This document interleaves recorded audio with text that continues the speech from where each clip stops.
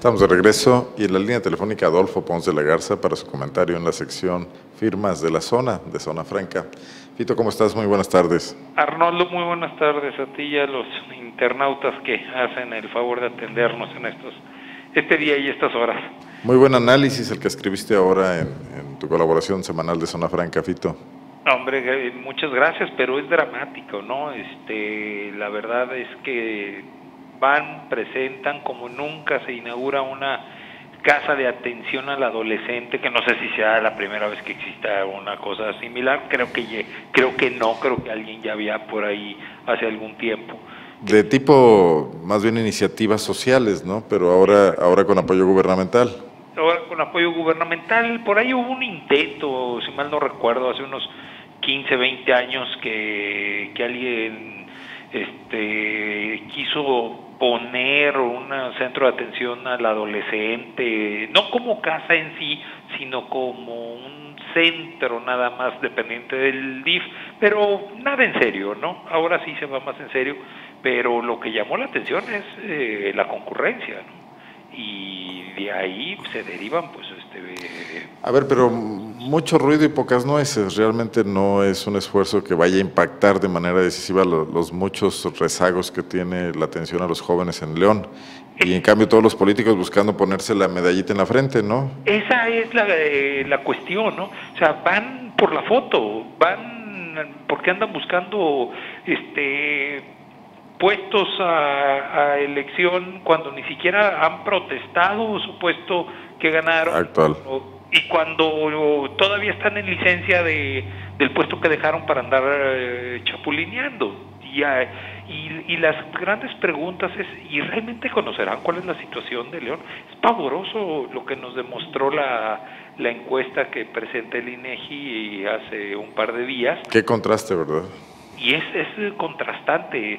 Sabemos, nos damos una idea siempre y decimos, sí, la situación no es la misma, como padres me refiero, y como tíos o como primos o este o, o, vecinos de los muchachos que andan en la calle de entre 12 y 29 años, adolescentes jóvenes, eh, en ese rango y dicen pues sí se están enfrentando a cosas que nosotros no vivimos estamos eh, están viendo cosas que, que nosotros no tuvimos bla bla bla pero no nos imaginamos con números fríos qué tan grave es el deterioro social este cuál es la verdadera radiografía, dónde, eh, dónde están afectándose más eh, a los jóvenes y a los adolescentes y sobre todo trabajar en ellos para evitar que en un futuro este problema... ¿Qué cifras son las que ves más preocupantes en esta, en esta encuesta de INEGI?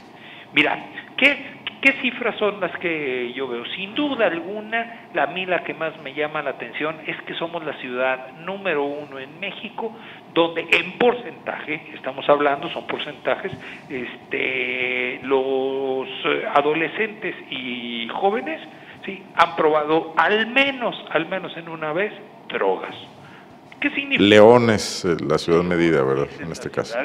pero por mucho mayor que las ciudades que nosotros consideramos teóricamente conflictivas en ese aspecto, como Ciudad Juárez, como Monterrey, como Tijuana, Acapulco, Cancún o, ciudades de esa naturaleza, ¿no?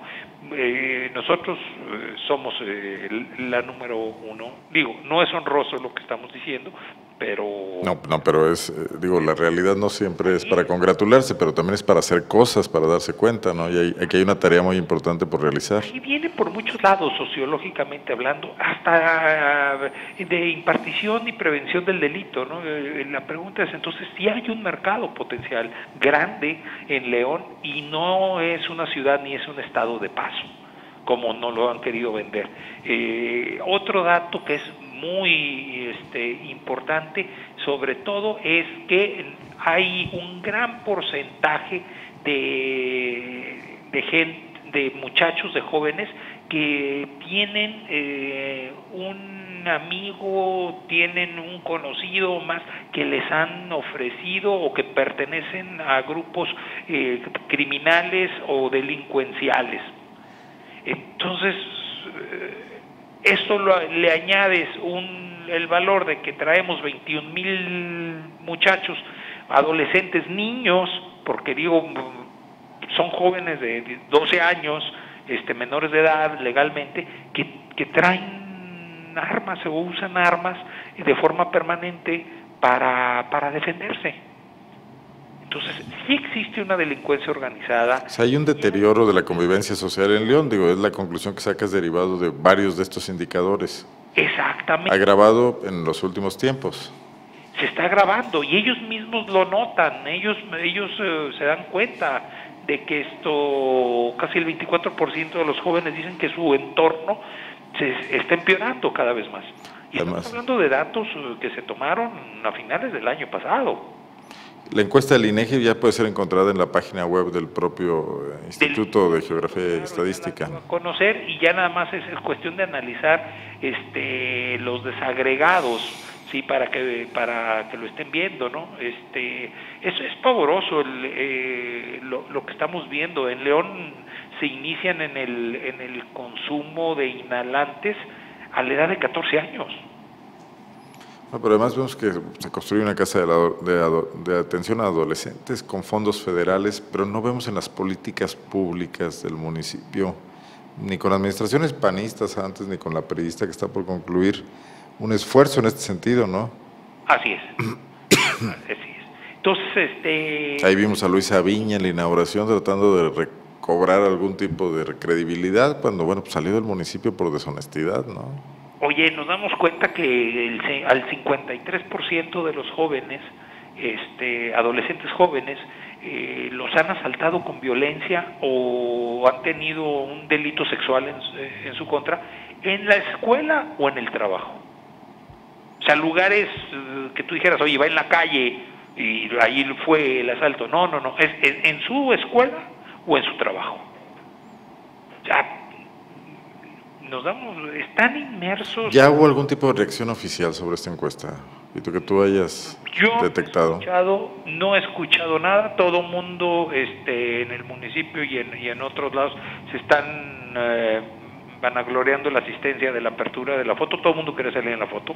Luisa Viñas, eh, ¿cómo lo hizo para conseguir tijeras? No supe, pero ahí apareció y Bárbara Botello lo está defendiendo y todo. O sea, lo que les interesa era salir en la foto, ¿no? Todo lo demás no les importa. Lo demás no les importa.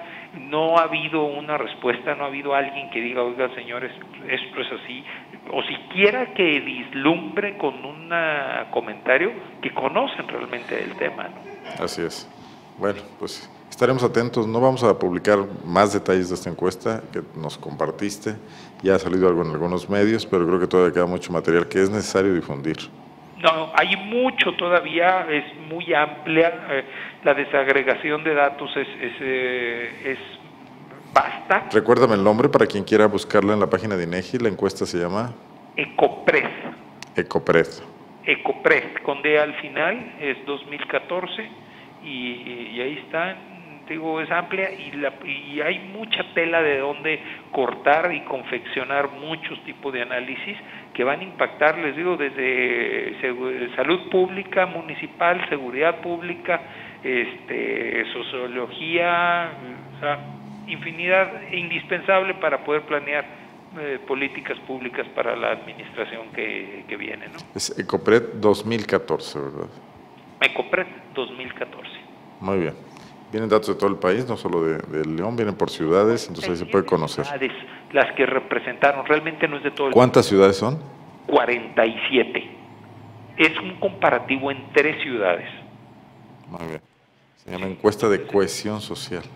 Entonces, este está bastante completa y, y lo que arroja de León es, es, es preocupante. Es el nombre completo es Encuesta de Cohesión Social para la Prevención de la Violencia y la Delincuencia 2014. Así es. Muy bien. Fito, gracias por compartirnos esta información.